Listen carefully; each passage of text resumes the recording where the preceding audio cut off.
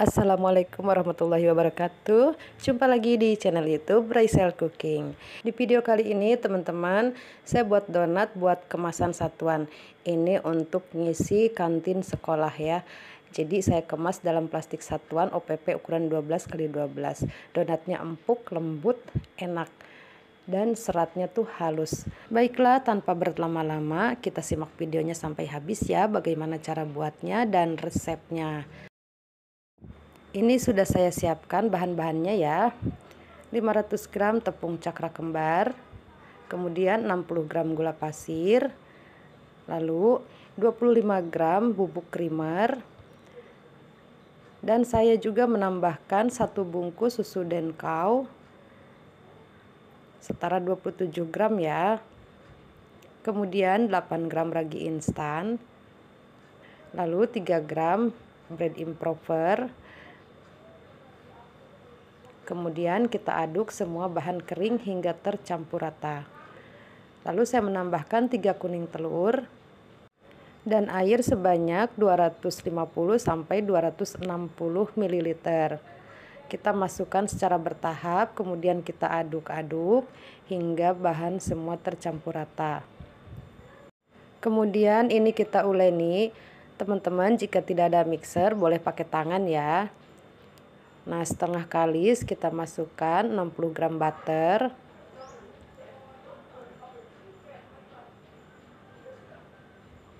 Lalu tambahkan 8 gram garam. Kemudian kita uleni kembali atau mixer kembali hingga adonan menjadi kalis. Oh ya, di sini saya menambahkan seujung sendok teh e, eh, SP.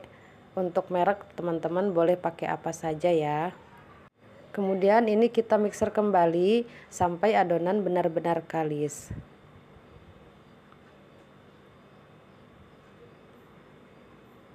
Setelah kalis, kita pindahkan adonan ke papan kerja kita.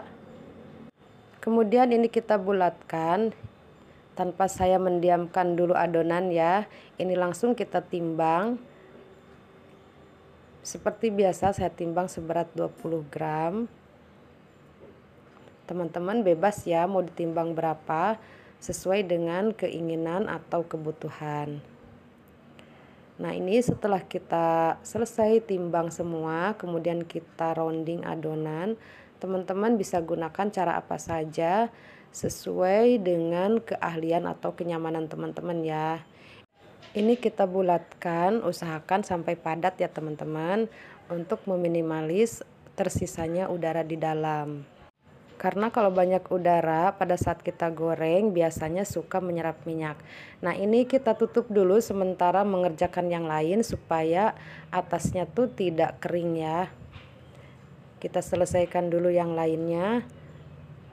Setelah selesai ini langsung aja kita pipihkan adonan. Oh ya teman-teman membuat donat itu sebenarnya memang gampang-gampang susah ya kalau kita tidak sering-sering berlatih apalagi di bagian degasing dan pembentukan donat ya itu eh, gampang-gampang eh, susah ya.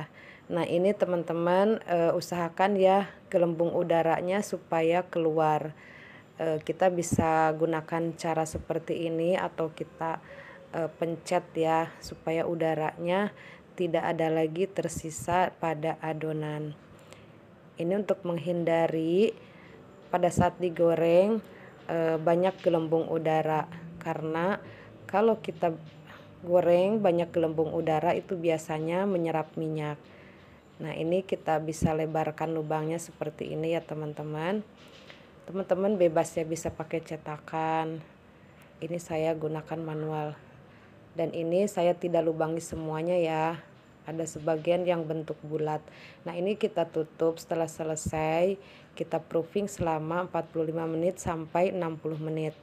Nah setelah mengembang seperti ini langsung aja kita goreng semua donat-donatnya. Ini panaskan minyak ya teman-teman di menit ke 45 atau ke 40 karena panaskan minyak dengan api kecil itu ya lumayan ya bisa mencapai 10 menitan atau 15 menitan ya tergantung banyaknya minyak ya. Tapi goreng donat usahakan itu e, minyaknya yang banyak ya. Ini saya gunakan satu kilo ya teman-teman. Maksudnya satu liter ya teman-teman. Supaya hasil donat-donatnya bagus ya jadi harus di api panas tapi dengan api sedang cenderung kecil dan harus minyak yang banyak ya. Ini kita goreng hingga semua selesai dan semuanya matang. Nah dan ini hasilnya donatnya ini sangat lembut empuk rasanya tuh enak dan luarnya seperti crunchy ya teman-teman. Tapi dalamnya ini sangat empuk lembut banget. Sangat lembut. Seratnya halus ya. Mari kita lihat sama-sama ya teman-teman.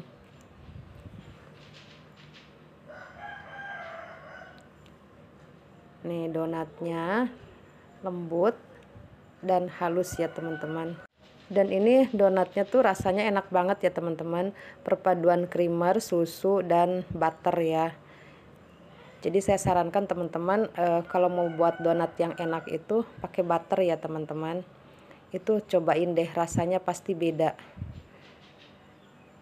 Nah setelah dingin ini semua saya topping ya teman-teman menggunakan coklat DCC atau coklat batang. Nah ini mohon maaf saya tidak sempat untuk merekam pada saat saya noping ya karena saya terburu-buru untuk segera dikirim ya donat-donatnya ke sekolahan. Jadi hasilnya seperti inilah kurang lebih ya. Ini saya gunakan pernak-pernik seperti permen Yupi, seperti sprinkle ya.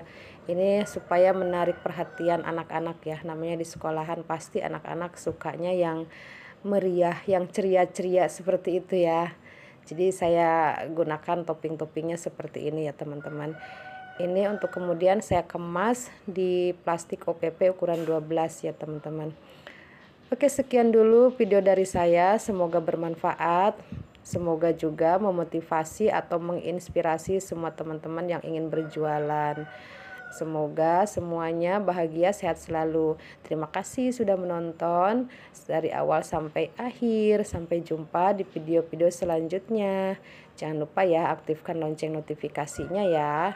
Oh ya teman-teman, ini sebagian saya kemas di box seperti ini ya.